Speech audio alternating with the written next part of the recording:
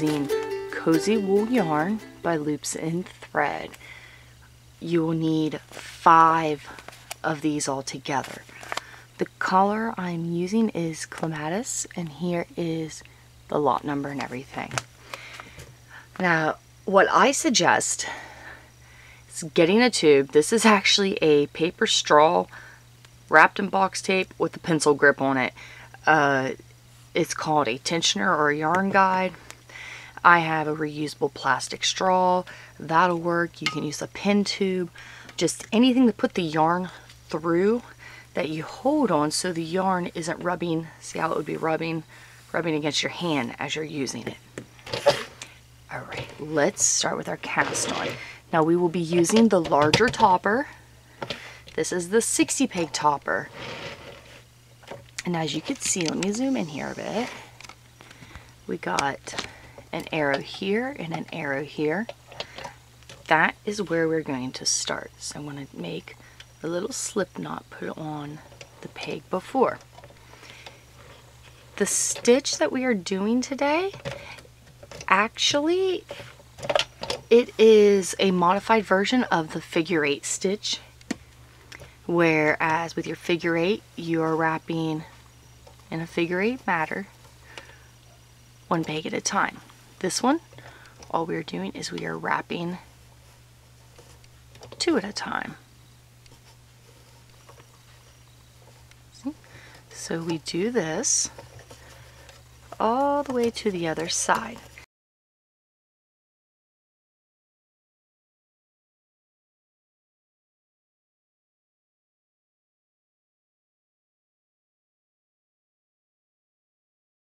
The other side, there is enough pegs where I can wrap these two and these two. But just to keep from accidentally joining this and working in the round, I stop here because after a couple rows, we'll take this knot out and it can just hang and you'll use that at the end of the project. So you want to push down every peg what your loom should look like. Now you need to take a piece of scrap yarn. I want to say this is about 40 inches long. You want to go with a contrasting collar. And this is just to help with your cast on edge. So this will stay here until the project is finished. But what we do is you put the string over top the stitches that are already here. See now I don't want to get it tangled up in my yarn so that I gotta move.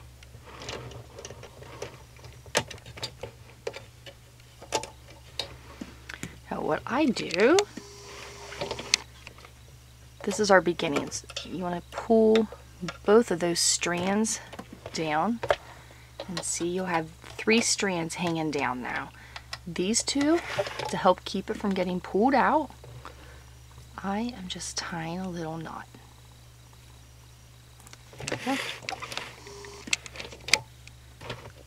At this point, we are going to work back to our first peg.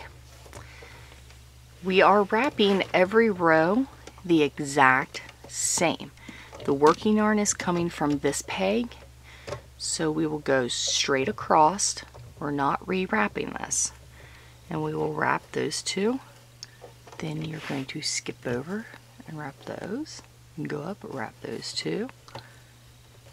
Skip over.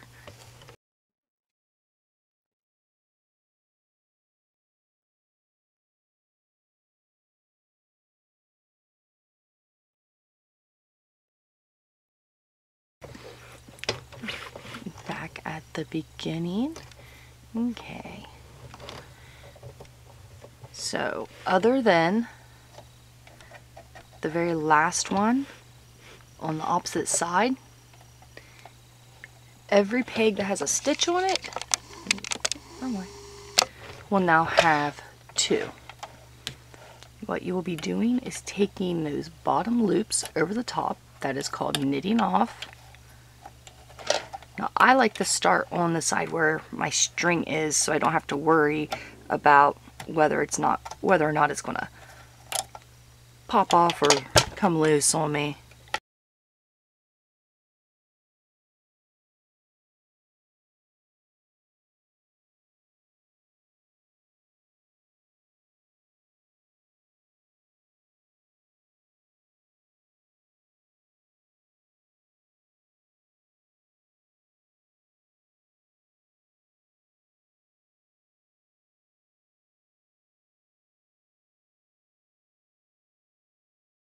The cast on is complete.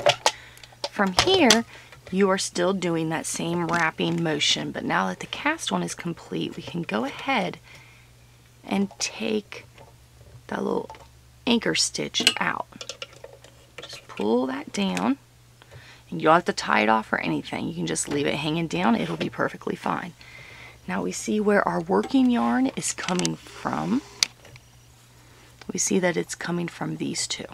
So we go straight down and then we start wrapping again.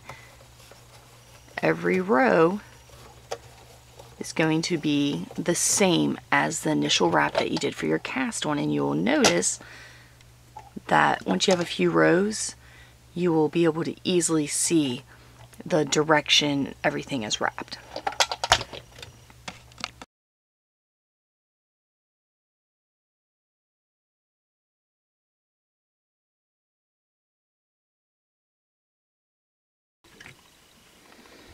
Okay, we are at our cast off point. Look how stretchy and big it is. Yay! So at this point, I love this tool, but I'm actually going to use a single one. We're going to take all the stitches. You can go from the all stitches on the outside, put them on the inside, or the inside, put them on the outside. Uh, just because it's easier to show. I'm going to go outside.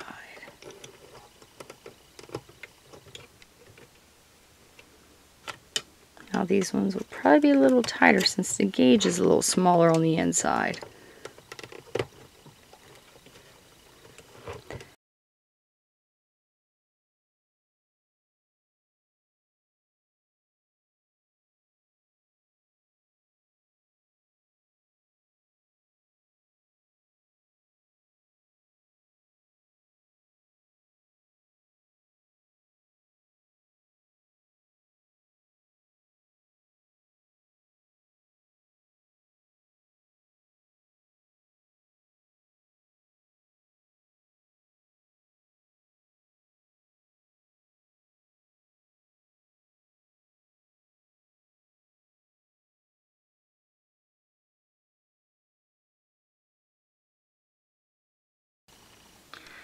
We're going to do a basic bind off even with the double stitches.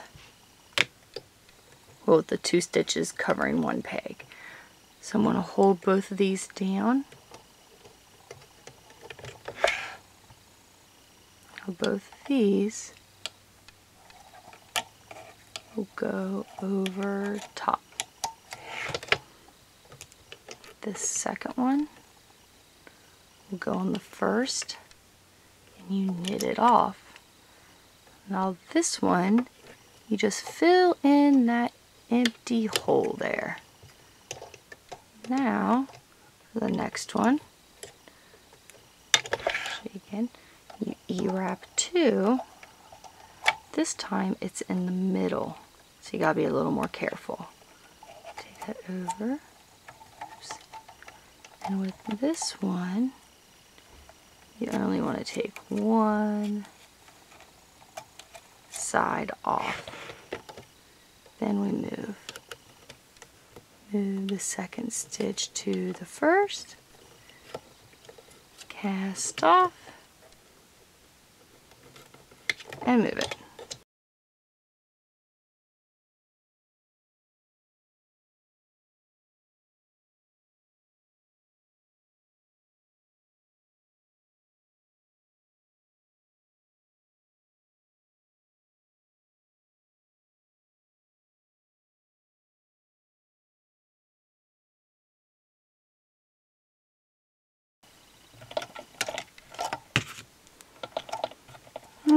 We're down to our last couple.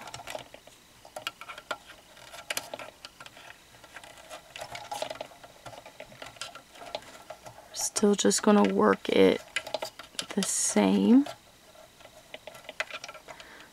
But now we have this. So I'm just going to move that over. There we go.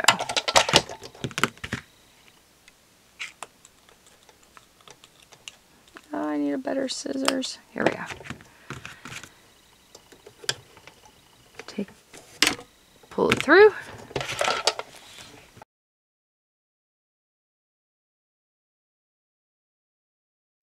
So I grabbed the first two stitches I saw. You want to twist and pull that second one through the first. Now here's the next one we see. If you want it to be a little more stretchy, you can pick up. See how I picked that one up in the middle? You can do that too. But for this project, I'm just going to be picking up the ones on top.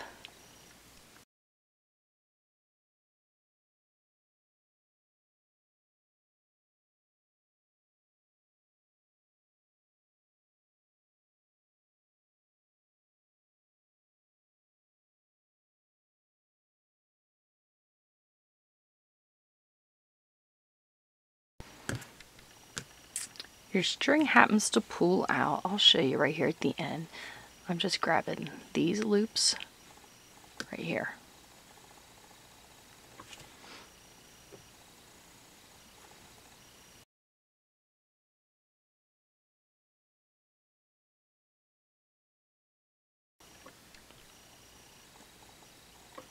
So what we do is we just actually take that crochet hook, pull that through and tighten it let me zoom this out a bit so you can kind of see it better.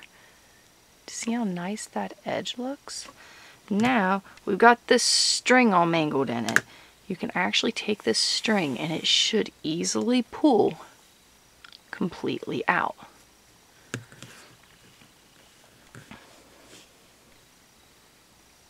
There we go.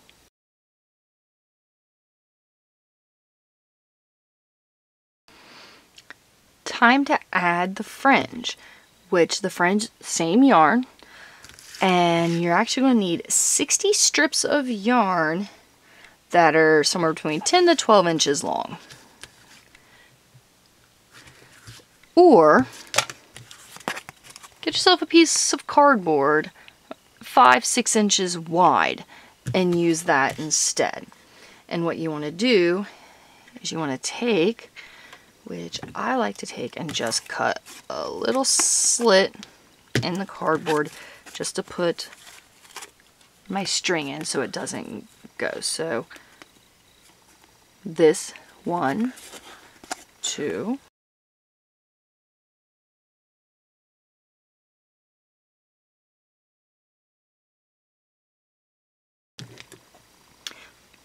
If you want to put more fringe on it, you absolutely can. But see, you want to cut it. See, both my ends are right here. And now you're going to take your scissors and cut the yarn here. Make sure it's the same place where it's already cut on that end.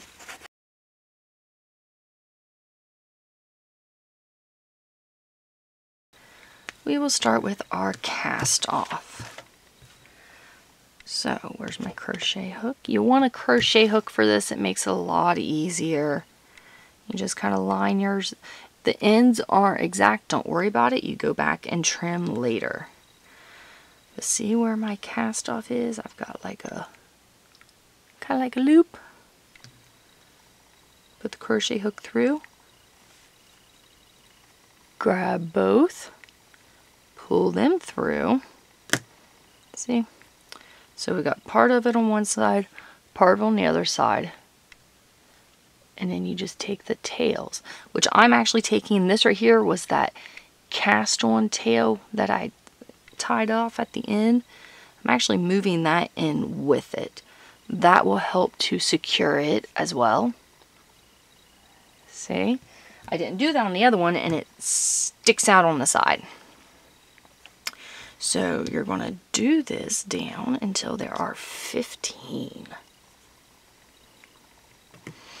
And I don't do every single one. It's about every other one. So about here should be another. Let's put my hook through. See? Now when I pull it through, I make sure I even the ends up as much as I can here. Zoom this in so you can see it better.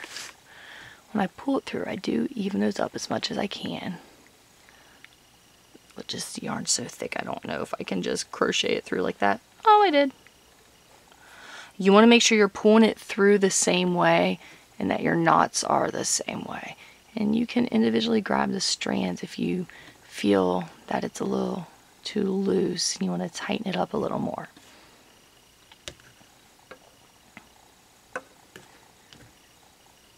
I'll show you one more and you do this to both sides. So I've got my crochet hook, pulling it through. Make sure I got these as even as I can. Now pull the ends through. Oops. There we go.